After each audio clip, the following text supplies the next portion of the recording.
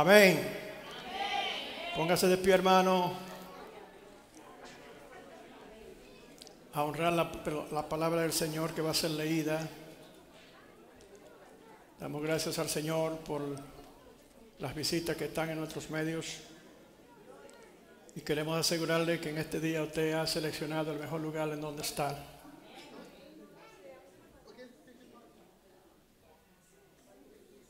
Prefiero mil años en la casa de Jehová.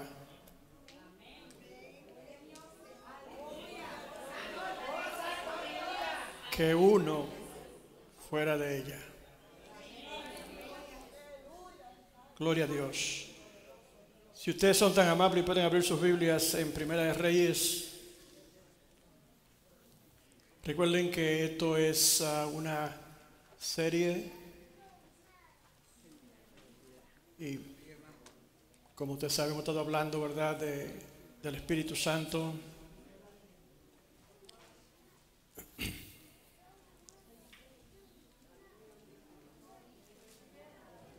Primera Reyes capítulo 3.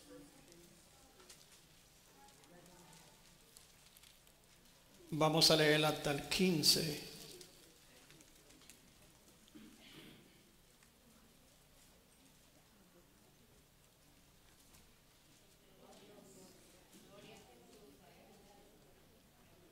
Amén. Mas Salomón amó a Jehová. Diga así, hermano. Salomón amó a Jehová. Andando en los estatutos de su padre David. Solamente sacrificaba y quemaba incienso en lugares altos. E iba el rey a Gabaón porque aquel era el lugar alto principal y sacrificaba allí mil holocaustos. Sacrificaba a Salomón sobre aquel altar. Y se le apareció Jehová a Salomón en Gabaón una noche en sueños. Usted tiene que estar muy metido con Dios para conocer cuando el sueño es de Dios y cuando no lo es.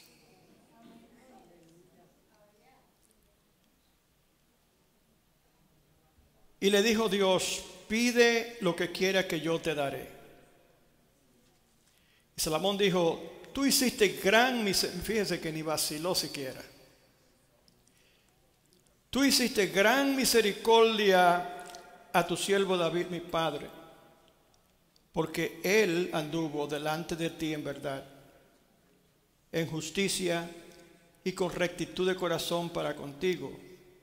Y tú le has reservado esta tu gran misericordia en que le diste hijo de que se sentase en su trono, como sucede en este día. Ahora pues, Jehová, Dios mío, tú me has puesto a mí, tu siervo, por rey en lugar de David, mi padre y yo soy joven y no sé cómo entrar ni salir.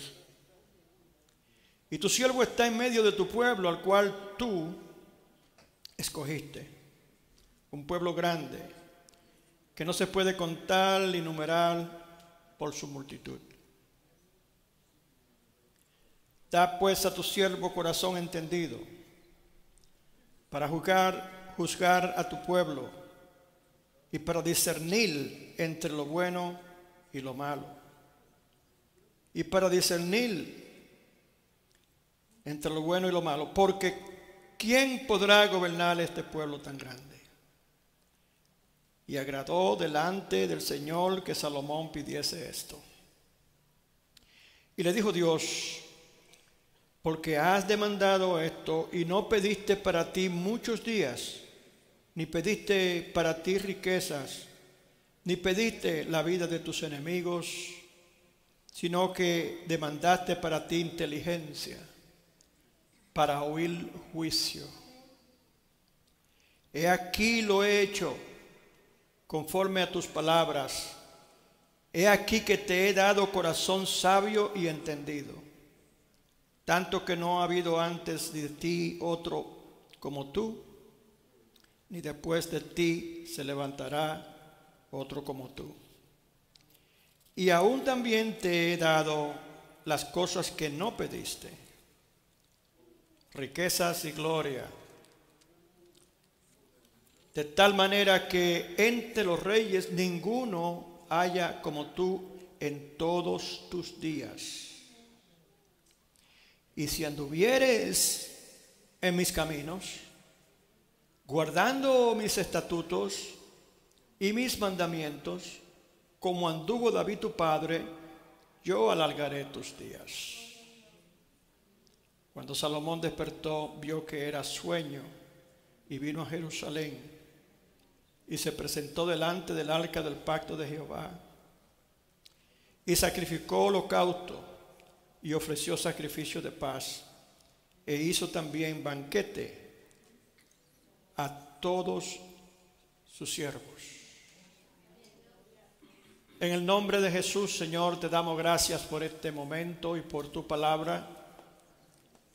Tu palabra, Señor, viene con propósito para cada uno de nosotros. Es tan grandiosa tu palabra, tu conocimiento y las profundidades de ella, que puede hablar a millones de personas al mismo tiempo con diferentes mensajes de acuerdo a sus necesidades. Así te pedimos, Señor, que de acuerdo a la necesidad individual de cada uno de nosotros en este lugar, a través de tu palabra hoy, Señor, una vez más, Tú hables de acuerdo, Señor, a tus propósitos, tus diseños, tus planes para con cada uno de nosotros. Pedimos, Señor, que el que necesita entendimiento en este día, para recibirla, Señor, con sabiduría, que tú, Señor, lo dotes para ello entender tu palabra. Que tu Santo Espíritu abra sus ojos espirituales, sus oídos espirituales para entenderla, Señor. En el nombre poderoso de Jesús te pedimos que todo aquello que sea contrario a tu propósito en este día, Señor, que quiera en alguna forma estorbar nuestros pensamientos y nuestra atención a ella, sea nulificado en el nombre de Jesús y por el poder de tu Espíritu. Recibe, Señor, de antemano toda honra y toda gloria en el nombre de Jesús, a quien damos honra y gloria por los siglos de los siglos. Amén. Y el pueblo de Dios dice, Siéntese, hermano, no nos vamos todavía.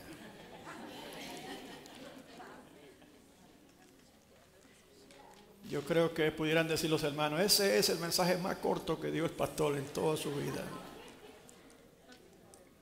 Gloria sea el nombre del Señor.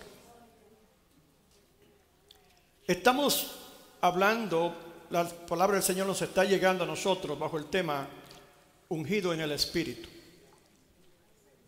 Y en este día esto es seguimiento a esa palabra.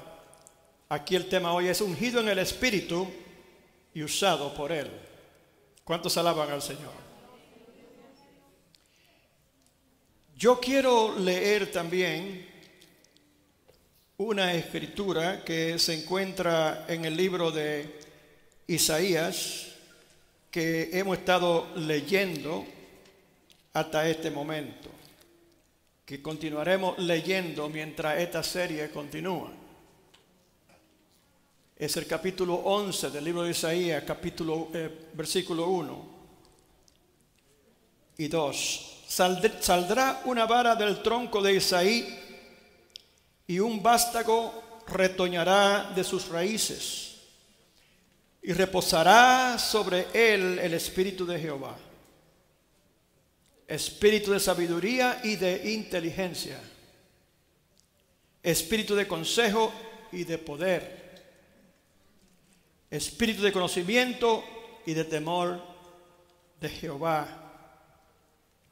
Y le hará entender diligentemente en el temor de Jehová. Y le hará entender diligentemente en el temor de Jehová. No juzgará según la vista de sus ojos, ni arguirá por lo que oigan sus oídos. ¿Cuántos alaban al Señor? Entonces tomamos aquí del Antiguo Testamento uno de los casos más antiguos en donde esta palabra luego profética de profeta Isaías se invoca por un hombre muy bien conocido por nosotros en la Biblia y por Dios y de mucho renombre a través de la historia hasta historia secular, no solamente la historia bíblica. Y es el Salomón, Salomón, que por lo regular se habla de él como el sabio Salomón. ¿Cuántos alaban al Señor? En Primera de Reyes, en Primera de Reyes, en el capítulo 1, los versos 28 en adelante, se relata, se relata la unción del rey Salomón cuando su padre David ordenó que a Salomón se le ungiera como rey, porque ya David sabía que su tiempo había llegado.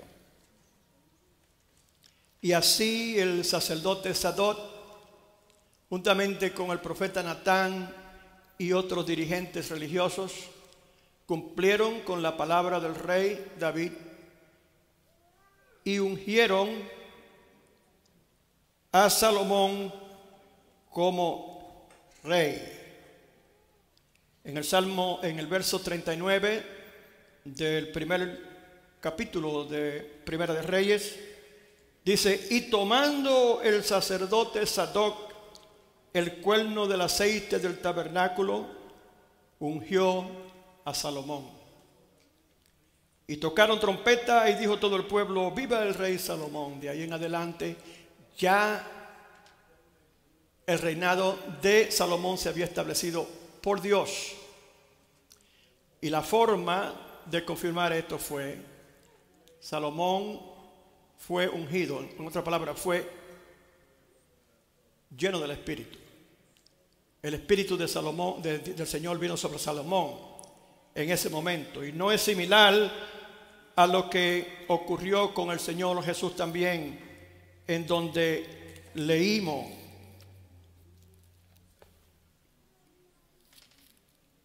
en donde leímos y repetimos cuando dice que el Espíritu de Jehová reposará sobre él en el capítulo 11 de Isaías en el primer versículo.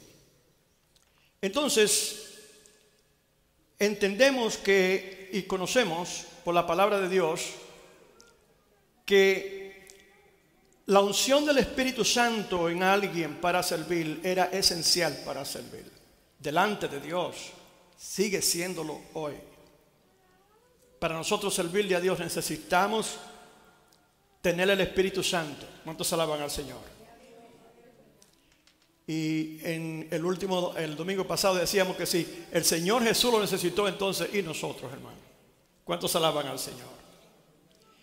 Y podemos ver que Él fue ungido por el Espíritu. Esa era la forma de confirmar que Dios había seleccionado un rey. Era el sacerdote venía y en una ceremonia lo ungían. Glorificado sea el nombre del Señor. Es bueno observar, antes de continuar hacia adelante, como leímos, ¿verdad? Que Salomón, dice aquí, amó a Jehová, andando en los estatutos de su padre David. Y como evidencia de eso se relata que sacrificaba y quemaba incienso en los lugares altos. Quiere decir que David tenía una relación muy íntima en lo espiritual con Dios. David caminaba en el temor de Jehová. Y el amor que él, que dice aquí que se demostró, de, eh, Salomón, que se demostró aquí de Salomón, tal como su padre, lo mismo que amó a Jehová, indica esa relación muy estrecha. Ese amor se desarrolló de acuerdo a cómo él caminó con el Señor en temor de sus leyes y sus estatutos. Es muy importante entender esto porque esta palabra viene para aplicarnos a nosotros hoy. ¿Cuántos alaban al Señor? Y queremos entender este misterio profundo del Espíritu en cuanto a nosotros. ¿Y qué significa para nosotros? ¿Y cómo opera en nosotros? ¿Y cuáles son los requisitos? Nos preguntamos esas cosas. Y yo creo que el Señor en este día va a hablar de una forma muy especial sobre eso. Salomón fue ungido eh, por el Espíritu Santo. Y eso quiere decir que desde ese momento en adelante el Espíritu Santo empezó a operar dentro de Salomón. ¿Cuántos alaban al Señor? Pero vamos a descubrir unas cuantas cositas muy interesantes aquí. El aceite era y sigue siendo representado, representativo del Espíritu Santo hoy cuando usamos aceite. Cuando una persona se entrega al Señor y lo oramos por ellos y lo ungimos, es porque estamos, eh, el pastor que está ministrando, el evangelista que esté ministrando, la persona que esté ministrando, está en la anticipación de que una de las cosas que ha de ocurrir de acuerdo a la palabra es que cuando creemos, entonces nos es dado el Espíritu Santo. ¿Cuántos alaban al Señor? ¿Y cuántos saben que el Espíritu Santo está en usted? Aleluya. Emanuel, se habla de Jesús en esa forma. Quiere decir Dios con nosotros. Pero ahora, cuando hablamos del Espíritu Santo, es Dios en nosotros. Y nos maravillábamos, ¿verdad?, de cómo sea posible que un Dios tan grande y poderoso, creador de todo el universo, puedan habitar en un vaso de barro. ¿Cuántos alaban al Señor? Pero esa fue la realidad. Entonces, en el Antiguo Testamento, tan solo reyes, profetas, ciertos creyentes llamados por Dios a alguna labor especial eran ungidos por el Espíritu Santo. No todo el mundo lo recibía. Pero aunque el Espíritu ya reposaba sobre Salomón, eh, preste atención a esto, aunque el Espíritu Santo ya reposaba sobre él, aún así David confesó delante de Dios cuando Dios se le apareció, David confesó sentirse incapacitado con ciertos temores y preocupaciones porque él no se sentía capaz de hacer ese gran trabajo. Vamos a encontrar donde dice eso en, en Primera de Reyes capítulo 3, 5 en adelante. En el capítulo 3, 5 en adelante. Y se le apareció Jehová a Salomón en Gabaón una noche en sueño y le dijo, le dijo, Dios, pide lo que quiera que yo te dé. Y en el 6 dice, y Salomón dijo, tú hiciste gran misericordia a tu siervo David, mi padre, porque él anduvo delante de ti en verdad, en justicia y con rectitud de corazón para contigo. Y tú has reservado esta tu gran misericordia en que le diste hijo que se sentase en su trono, como sucede en este día. Ahora pues, Jehová, Dios mío, tú me has puesto a mí, tu siervo por rey, en un lugar en, el lugar de David mi padre, y yo soy joven y no sé cómo entrar ni cómo salir. ¿Qué está diciendo David? Eh, Salomón, perdón. Salomón está diciendo, no tengo la, no me siento con la capacidad de yo poder gobernar este pueblo. Soy demasiado joven. En otras palabras, no tengo experiencia. Y no sé cómo aplicar ah, soluciones a problemas sabiamente porque no tengo esa experiencia ni esa madurez y quizás ah, podría decirse que aunque mi relación con tu Santo Espíritu, yo sé que Él mora en mí, pero sin embargo no siento que me está capacitando porque pues, hay algo que no funciona bien. Para yo poder realmente confiar en que estas cosas puedan suceder entiendo que necesito tu ayuda de esto que yo necesito que es tan importante.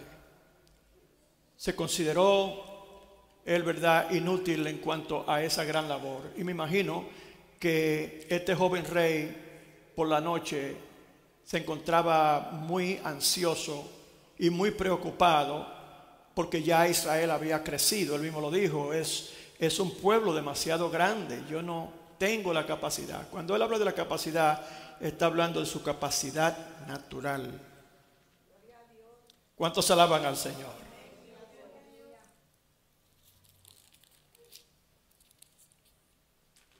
Entonces,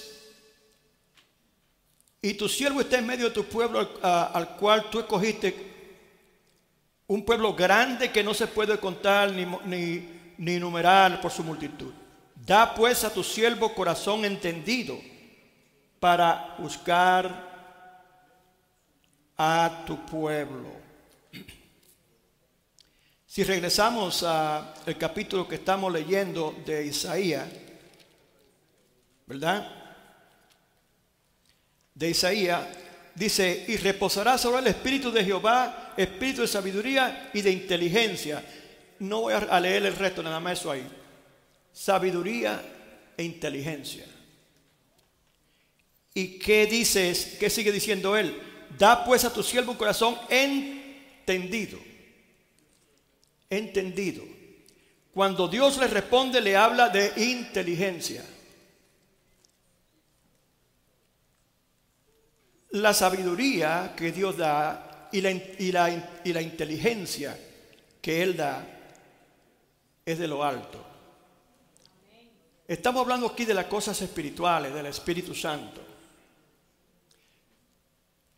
La sabiduría de los hombres, dice Pablo, Él se propuso no venir con sabiduría humana, sino con sabiduría de Dios. ¿Cuál es la sabiduría de Dios entonces? ¿Cuál es la sabiduría humana? Bueno, el hombre está capacitado con inteligencia para poder aprender.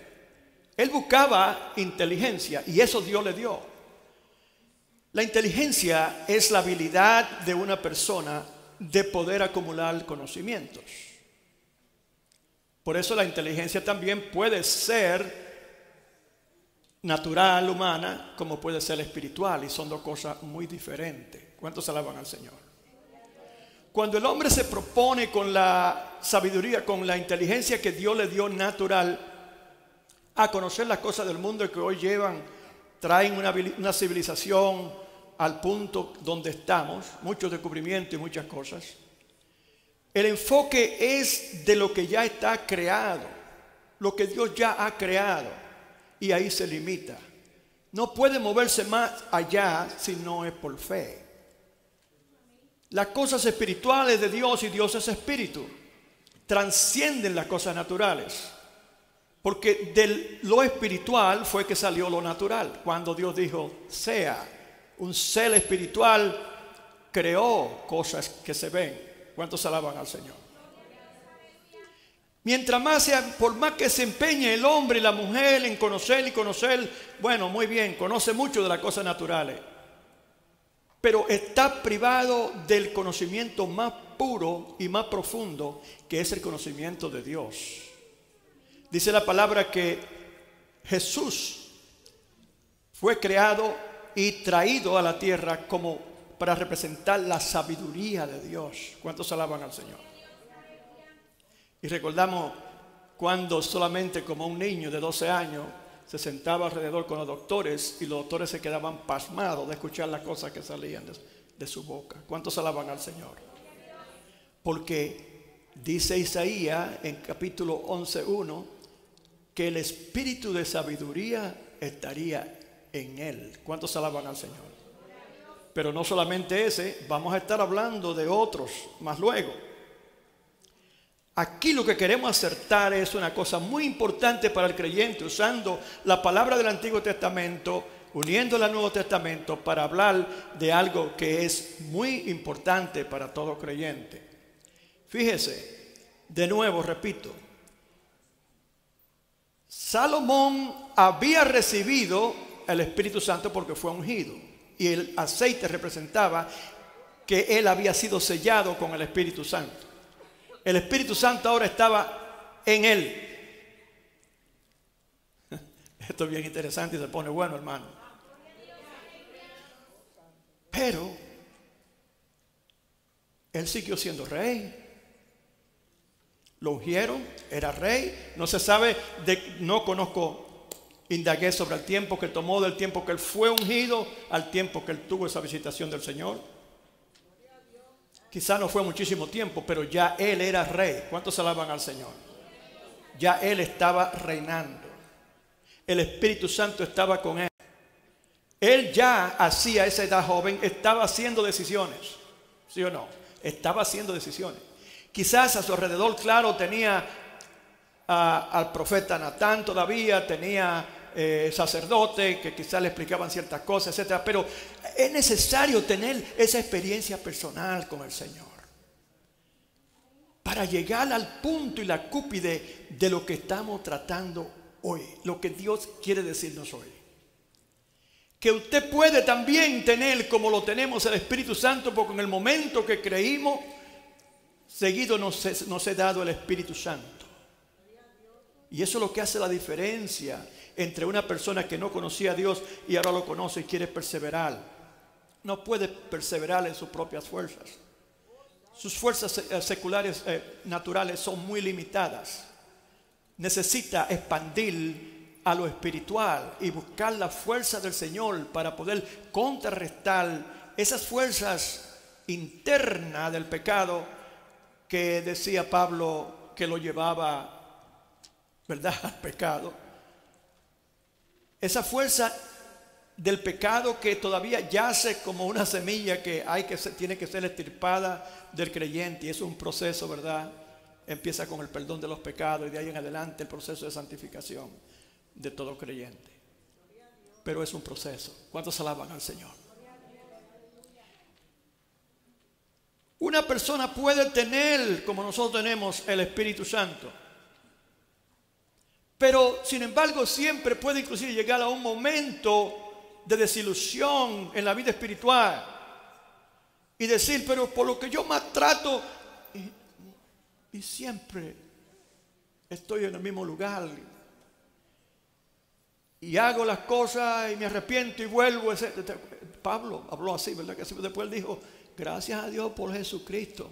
¿Cuántos alaban al Señor? Porque a través de él él vencía todas las actitudes de la carne. ¿Cuántos alaban al Señor? Pero se puede obedecer a la ley del pecado también. ¿Cuántos alaban al Señor? Pero si usted está determinado a caminar con Cristo en victoria, y así como Salomón, usted se determina a buscarle, a adorarle, a servirle, a obedecerle, ¿cuántos alaban al Señor? Usted tenga alianza con el Espíritu, usted no podrá caer. ¿Cuántos alaban al Señor? De nuevo, tenía el Espíritu Santo, pero le confesó a Dios que aunque tenía el Espíritu Santo, había algo ausente. A su nombre. El Espíritu Santo estaba en él. Reposaría sobre él como así reposó también sobre Jesús. Pero había algo que tenía que ocurrir para que eso para que esa, e, e, esa fuente poderosa de agua, como río poderoso del cual habla Jesús, empezara a moverse en una forma poderosa en su vida. ¿Cuántos alaban al Señor?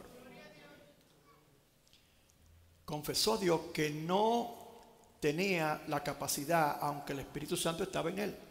El Espíritu Santo de seguro que fue el que motivó y dirigió a Salomón a, a dar la respuesta correcta. Oiga bien, porque estaba en él y ese espíritu de sabiduría, no lo dice así en, en Isaías capítulo 11.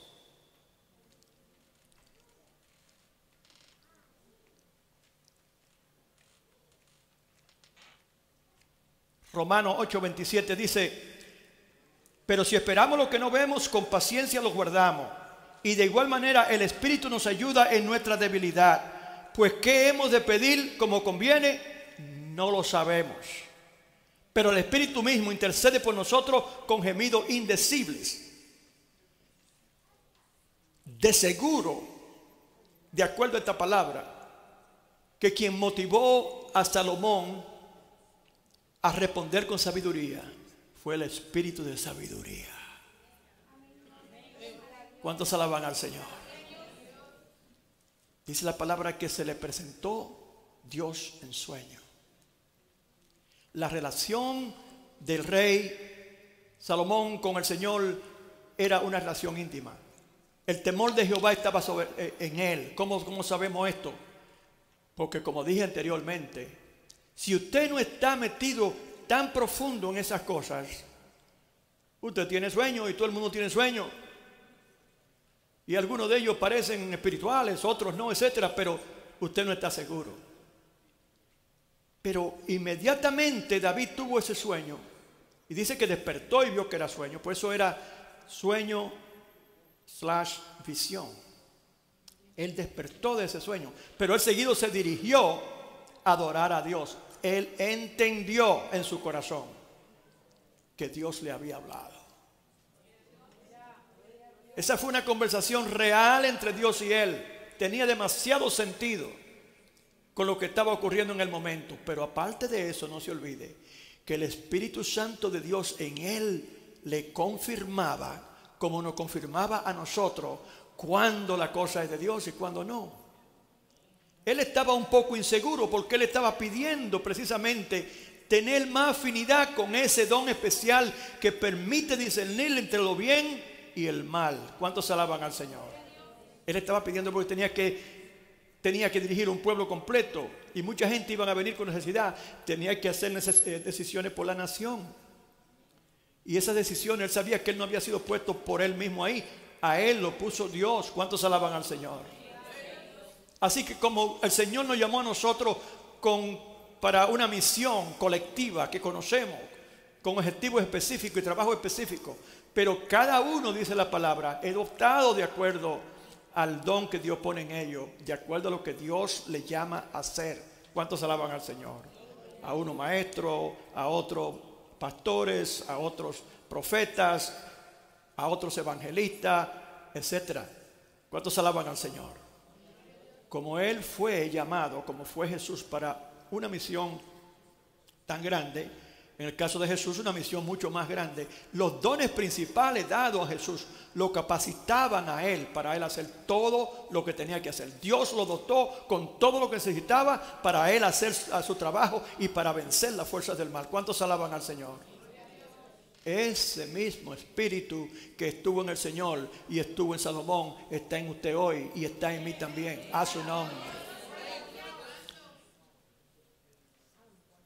yo seguido veo la cara diciendo, ok, all right, that sounds good. Pero, what does it do for me? Because I don't feel it. I don't. Yo salgo y vengo y hago y, sin embargo, lo mismo. A veces me siento deprimida y, y busco y todavía no entiendo.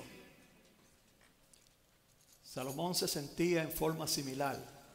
Pero entienda que como usted y yo Salomón ya tenía el Espíritu Santo en él. Pero le faltaba ahora algo especial. Y por el Espíritu él usó, él entienda, el discernimiento del Espíritu que estaba en él. En otra palabra, cuando usted es guiado por el Espíritu y usted tiene que pensar una respuesta para Dios, Dios le hace una pregunta, ¿usted cree que el Espíritu Santo lo va a abandonar en ese momento? No, el Espíritu le va a decir, dile esto ¿Cuántos alaban al Señor? Aleluya. Y Salomón respondió. Primeramente, sabiamente hizo un resumen de la vida de su padre en su relación con el Espíritu Santo y lo que Dios había hecho por tal razón y su relación con el, con el Señor, Padre. Y entonces de en adelante dijo, pues así mismo también, haz conmigo pero yo necesito sabiduría de lo alto. ¿Cuántos alaban al Señor? Porque yo sé, Señor, que esta es una misión tuya. Yo sé, Señor, que este es tu pueblo, no es mío, a su nombre. Yo necesito abrir todo mi sentido y el poder que está en dentro de mí. Yo sé que en mí está el Espíritu Santo, pero yo presiento que todavía no ha surgido ese río, no ha explotado en la forma que ha de explotar. Y entiendo que es porque esto es un proceso. Pero en este momento yo siento que el momento ha llegado de yo recibir que ese río se desenlace, que, que, esa presa de agua se abra y que el río empiece a correr y a fluir en mi vida, porque yo necesito poder de lo alto. ¿Cuántos alaban al Señor? Y esto nos trae una enseñanza muy, muy, muy importante, hermanos, que la iglesia necesita captar en este momento. Cuando usted se pregunta, ok, Tal como Salomón, yo sé que el Espíritu Santo está en mí. A veces no lo siento y, y, quizás pregunto si en verdad soy salva. Si en verdad soy salvo, porque no veo la manifestación del Espíritu Santo en mí en ninguna forma. Si me llamó para esto, no está sucediendo eso. No estoy involucrada en, un ministerio. Eh, ¿Para qué me ha llamado el Señor? El Espíritu Santo está en mí y es para yo servir y para yo ser edificado en el camino a la vida eterna. ¿Cuántos alaban al Señor? ¿Cuál es mi misión? ¿Cuál es mi trabajo? ¿Qué es lo que tengo que hacer? Pues yo creí que hasta este momento era esto, pero sin embargo no lo estoy ejerciendo. Usted está en el mismo lugar que estaba Salomón. Y ahora usted está con esa pregunta. Ahora el Señor le está haciendo la pregunta a usted. ¿qué quiere que haga por ti?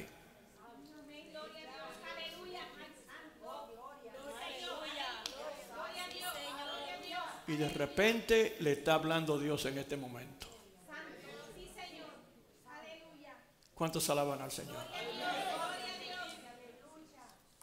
¿Qué es lo que tengo que hacer? Pues ahí hay una enseñanza consistente y clara de cómo esto se logra.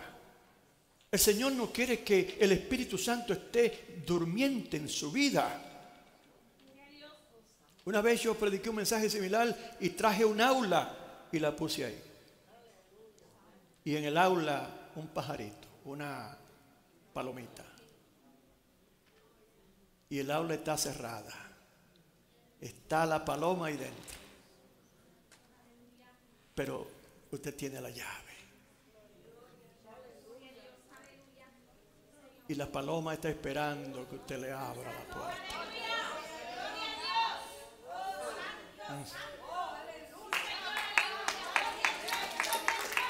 Aleluya.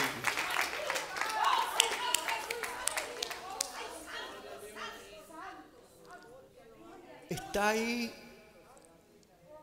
Quiere manifestar en su favor lo que Dios puso en usted, el plan para su crecimiento y su participación en el reino, la acumulación de riquezas en el cielo pero usted está neutralizado con el Espíritu Santo a un lado. El poder del Espíritu Santo no puede manifestarse porque usted no lo deja.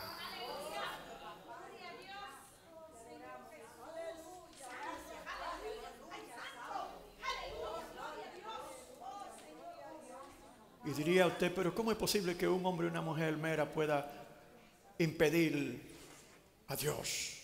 Pues sí, en su vida sí porque está en usted. Y usted tiene el derecho al libre albedrío, aunque es creyente, eso no ha cambiado. Usted puede de un momento a otro simplemente decir no, y muchos lo hacen, e inclusive hay muchos que están haciéndolo, que están impidiendo la manifestación del Espíritu en su vida continuamente, aunque Dios le habla claramente como lo está haciendo hoy pero después cuestionan y preguntan, ¿por qué yo no crezco? ¿Por qué no estoy haciendo lo que debo de hacer? ¿Por qué cuando trato no puedo? ¿Por qué me siento tan inservil como decía Salomón? Usted no está en mala compañía. Y gracias a Dios que el que le dio la respuesta a Salomón, la tiene también para ti.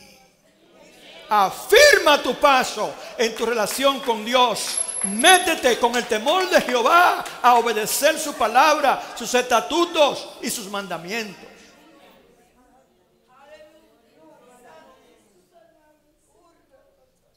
Búscale, adórale de corazón, ámalo. Usted llega a amar a alguien cuando usted ha desarrollado una relación con esa persona y usted ha descubierto, ¿verdad?, tantas cualidades que son tan buenas.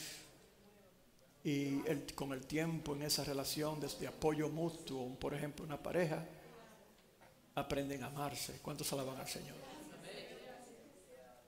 Con Dios no es diferente.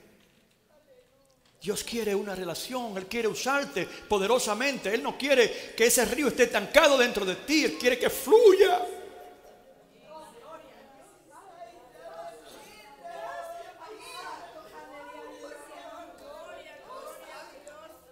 Pero tiene que haber una iniciativa de tu parte, tiene que haber una determinación de que tú vas a querer esa relación, porque de esa relación es que depende el uso de Dios en poder del Espíritu en tu vida.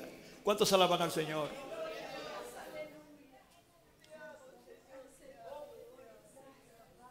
Dice en el libro de los Proverbios, el principio de la sabiduría es el temor a Jehová.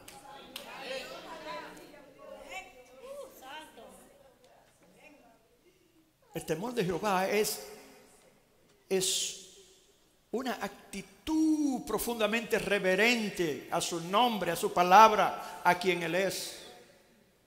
Y eso indica una sumisión completa que traduce a obediencia sin cuestionar a Dios. ¿Cuántos alaban al Señor?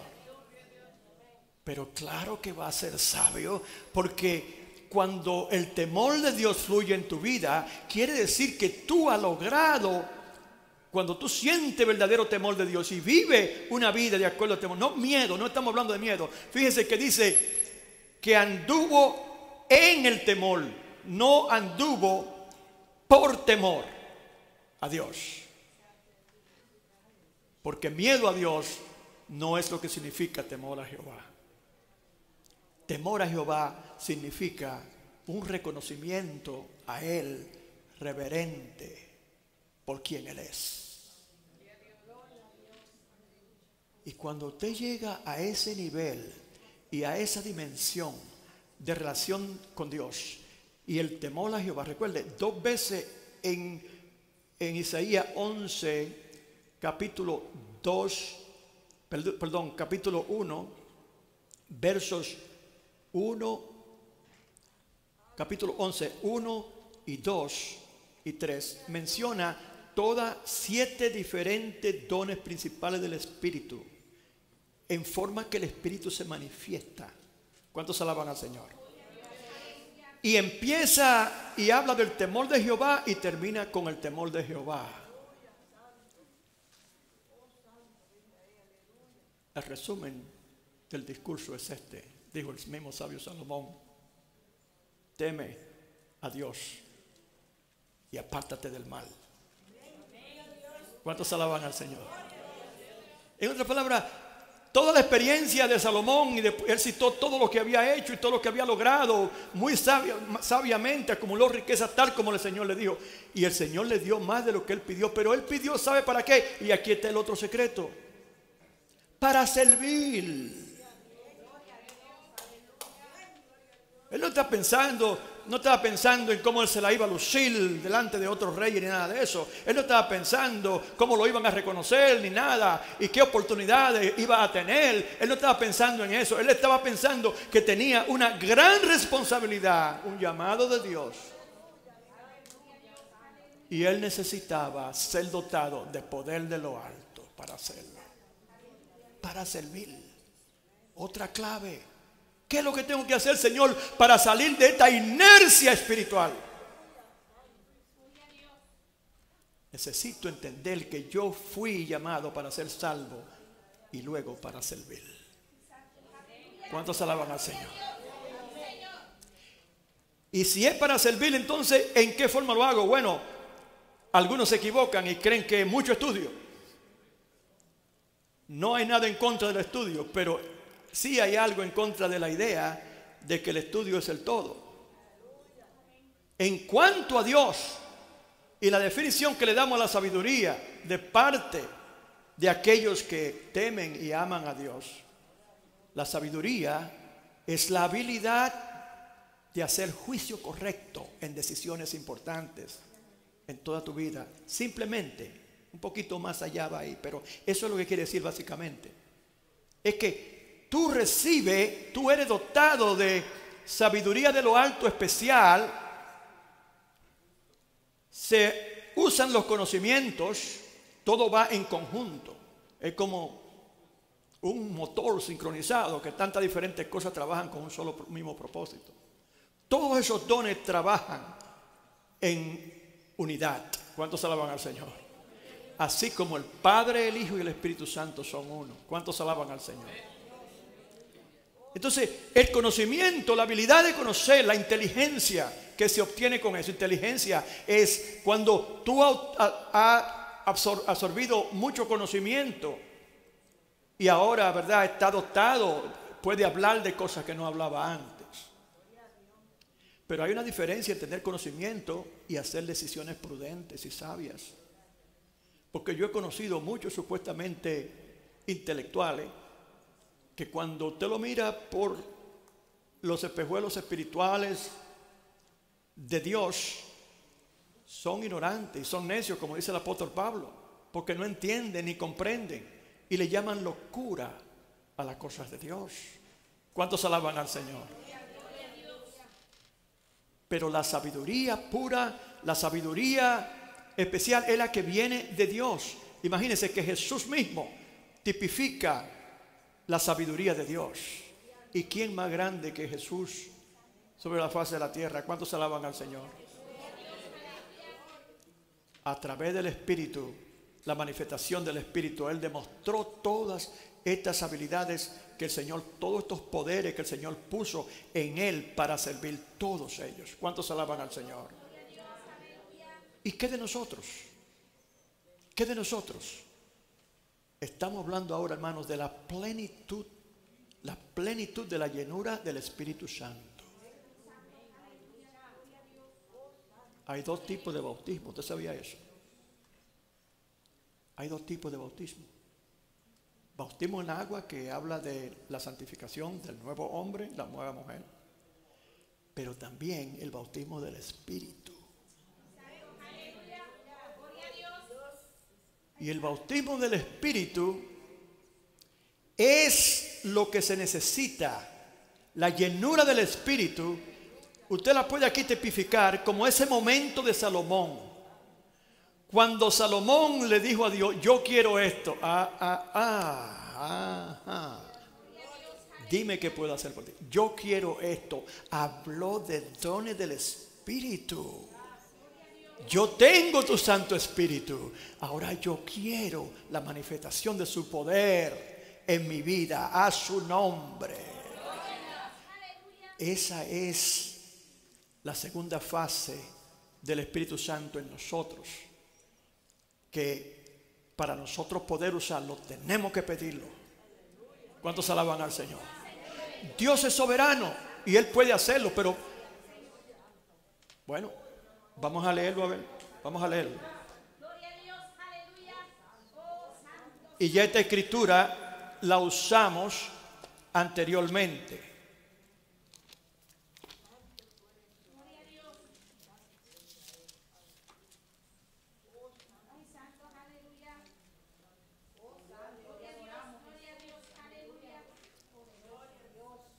en este caso, dice, aconteció entre tanto que Apolo estaba en Corinto, eh, Corinto. Pablo, después de recorrer las regiones superiores, vino a, a Éfeso y hallando a ciertos discípulos, le dijo, ¿recibiste el Espíritu Santo cuando creíste? ¿Eran creyentes o no?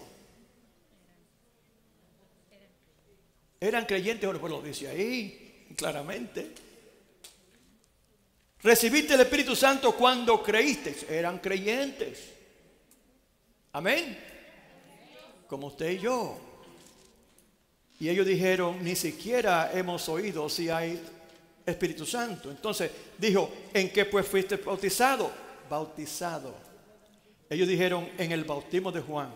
Dijo Pablo, Juan bautizó en bautismo de arrepentimiento diciendo, es el bautismo natural. Que lo zambullen en el agua usted y lo sacan. Ese es Juan bautismo. Y dice, diciendo al pueblo que creyesen en aquel que vendría después de él. Esto es en Jesucristo. Ese es un bautismo.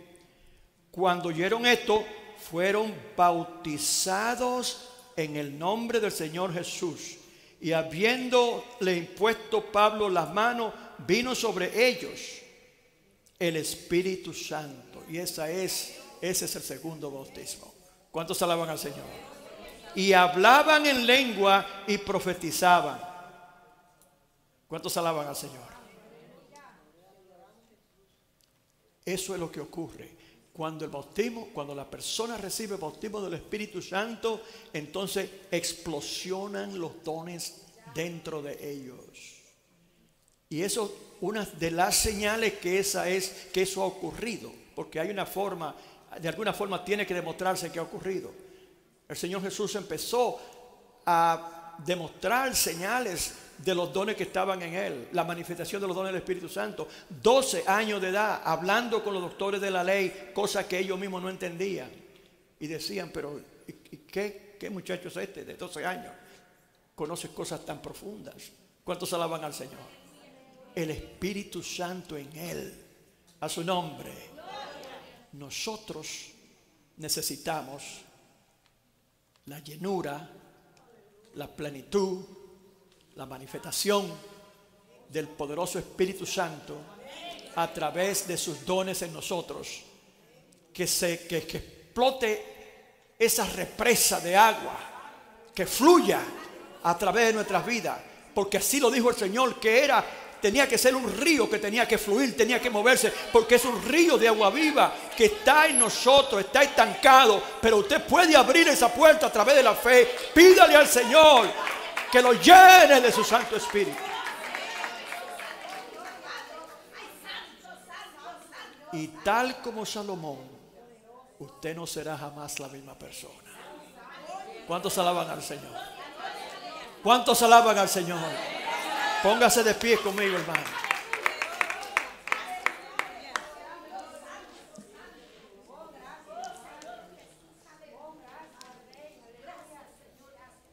Todo lo que el Señor le prometió a, a, Salomón se cumplió en su vida. Todo lo que el Señor te ha prometido a ti cuando te llamó, tú tienes un plan específico y especial delante del Señor todo lo que Él te ha prometido también puede hacerse una realidad. No importa cuáles son los obstáculos. Y en este día el Señor te dice, ¿qué quiere que haga? No pida cosas materiales, humanas. Dígale, Señor, dame lo que necesito para hacer tu voluntad, para hacer tu trabajo, Señor. Úsame en tus manos, Señor.